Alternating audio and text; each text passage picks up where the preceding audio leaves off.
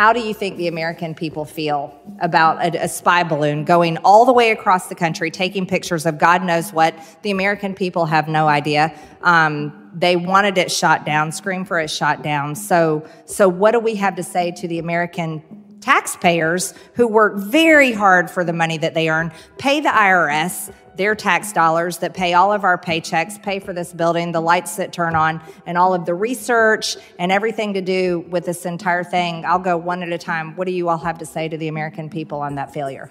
Ms. Murphy? I'd say the FBI is working very hard to protect the American people. Do you think the American people trust the FBI, Ms. Murphy? Yes, ma'am, I do. I'm going to tell you they don't. Mr. I would say that the the high altitude balloon posed a threat and it was shot down, and we are working with the investigative agencies to determine the specifics of that.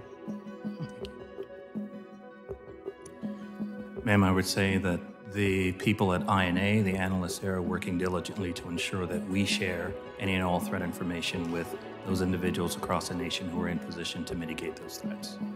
Well, the, the tragic news for our country is they already have, China has already collected everything they need, and their mission was successful while our government's mission failed the American people.